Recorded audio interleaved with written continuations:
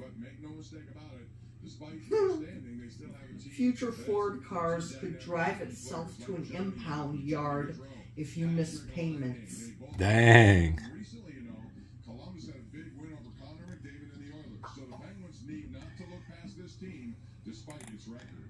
Yeah, I think they, regardless of the record, they have a lot of skilled players um, that are dangerous to play against. So I think they can beat you with, with their skill. So um, they're just being hard to play against and kind of see where it takes us. Certainly, this is a team that has a lot of threats throughout their lineup. Their power play has the, has the ability to be a difference maker. Um, Alright, what's up, yins guys? Time for another video. I've been meaning to talk about this one, this story I seen on the TV news. Actually, it was a thing on the news weeks ago, and the latest development, they caught the guy. Yeah, the guy, I think his street name, look back in the article, was street na- street name was Takeoff. Yeah, shoots people in the leg because uh, they wouldn't give him no nookie and ran. So I guess he I don't know what the chick was uh think was going on uh meeting them at a red roof inn to start with. I don't know. Read the article, but uh not funny that they got shot, but anyway, this is a uh, example, a model for how entitled this individual was. Putting aside, you know, wondering what she was doing, uh, going over there with him at the hotel. So anyway, uh, the dude gets mad at this chick because she wouldn't uh, give him any nookie, uh, wouldn't uh, do no sexual favor or, or uh, sexual act or whatever that he demanded did she do. So he got mad and shot her in the leg and ran. So they said his street name was Takeoff or something like that, if I'm not correct. So he shot her and just took off. Yeah, hiding. Yeah, that's really gangster. Shoot a woman in the leg, be, or a woman or a girl in the leg, because you're mad because they won't give you something you think you're entitled to, and that's really gangster. Do it and do that and run like a scared chicken and be in hiding. Yeah.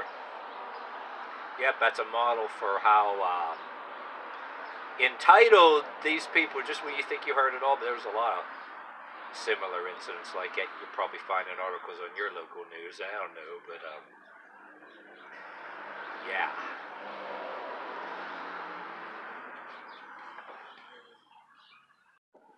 Yeah, anyway, yeah, that dude was uh, really delusional, thinking he was that entitled, like he had a right to shoot somebody in the leg, shoot anybody because uh, he he uh, couldn't get any.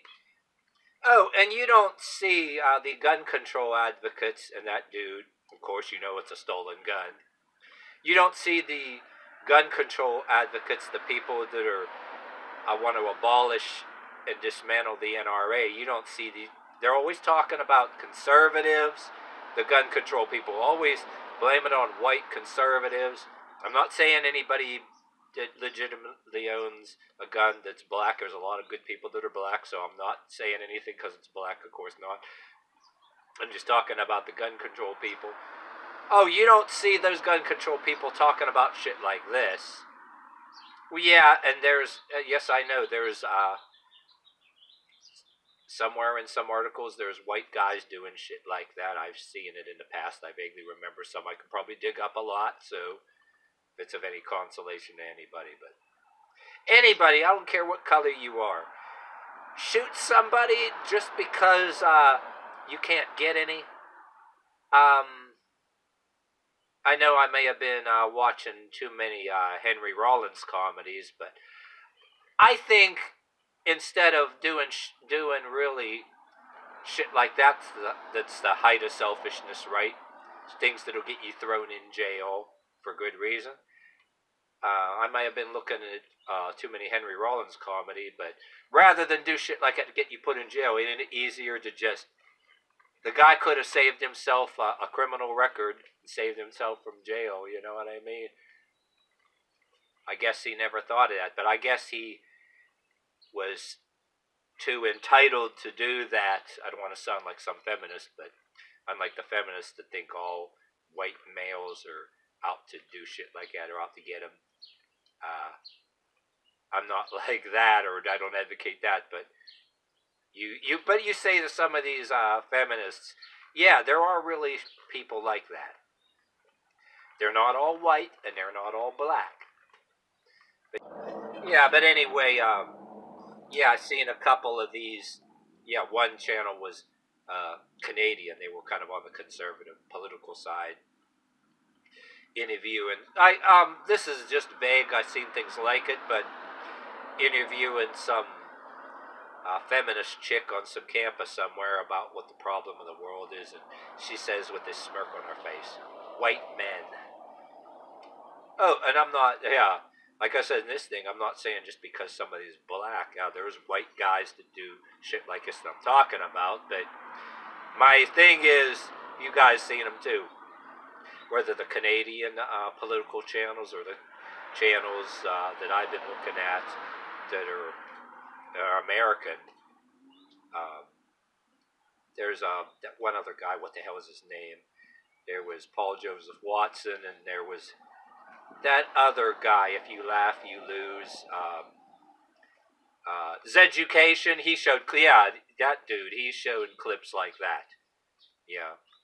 Not saying anybody just because they're black or like that. Like I'll say once again, there are white dudes that do it too. I I did videos about uh, Kevin McSwiggan as an example of a white dude, but uh, he did that in a road rage, and it happened to be an off-duty cop and his son.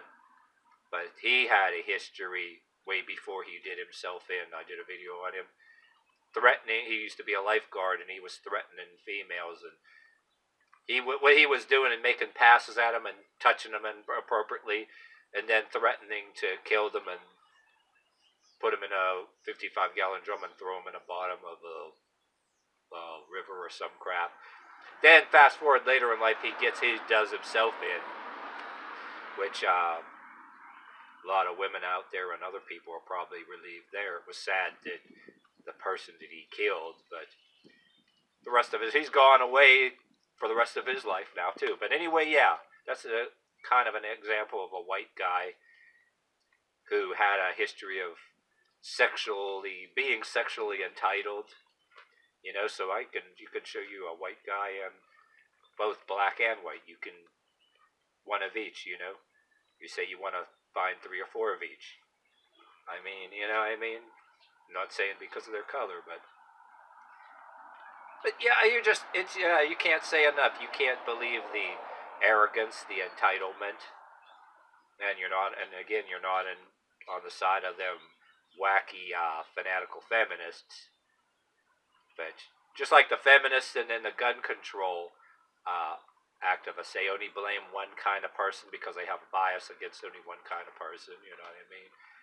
And uh, they won't acknowledge that somebody on that other side does the same shit. You know what I mean?